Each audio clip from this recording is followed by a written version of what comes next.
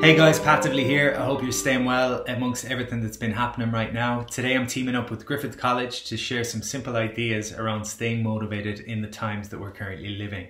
So again, we're dealing with a lot of uncertainty right now, unprecedented times, which are challenging for us all, both on a personal level and a professional level.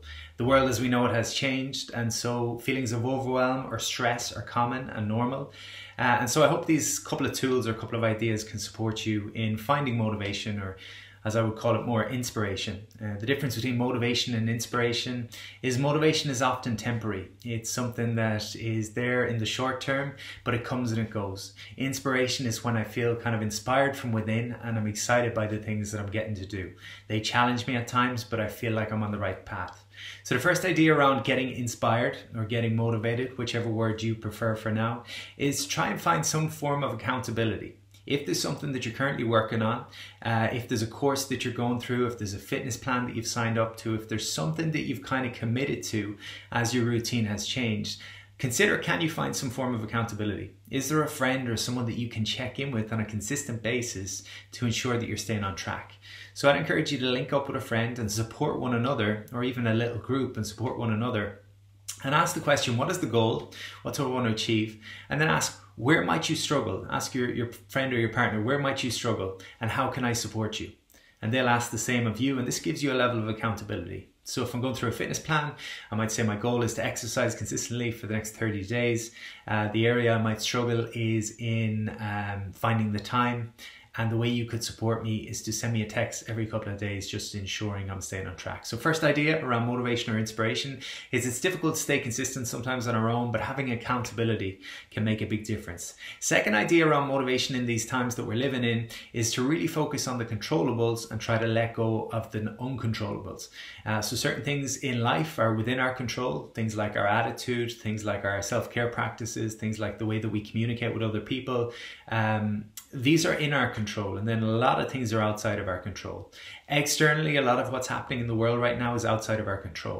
And if I put all of my attention on that and I put my energy on all those things that are beyond me, that's when things can become hugely overwhelming. So rather than that, I want to come back to myself and I want to ask, how can I best protect my energy and how can I best look after stress levels?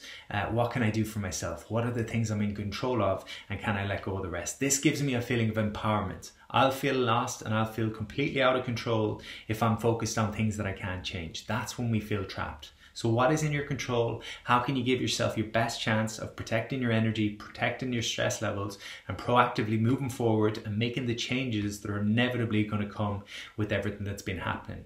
Third idea around motivation or inspiration is to continue to track your wins every day. So, one of the things that happens to us is that we're always focused on where we are versus where we want to be. We see this gap between where I am in terms of my health or my fitness or my relationship, and then I've got a goal as to where I want to be. But as we move closer to our goals, more often than not, the goal comes out further. Like the horizon, we're always chasing.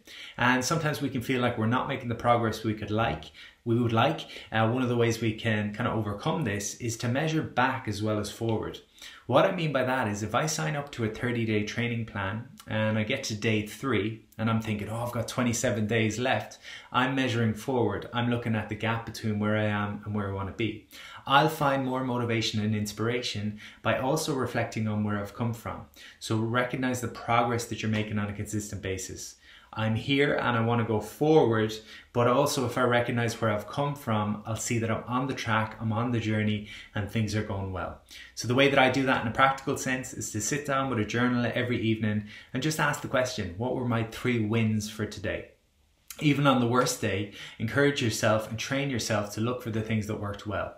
Uh, your win might be something as simple as even though I was feeling a little bit isolated and a little bit uh, withdrawn in myself, I reached out to a friend on a call and I had a quick call with them and I checked in with them and that made me feel a little bit better.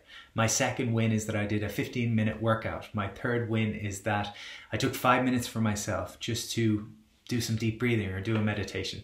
So when you start tracking your wins, they add up very consistently over time, and that's where confidence comes from, and that inspires you. Again, that inspiration from within rather than relying on external motivation. So a couple of ideas there, get some accountability, focus on your wins and really get in control of the controllables, try to let go of the rest. I hope this is helpful. Stay safe, stay well, and I'll speak to you soon.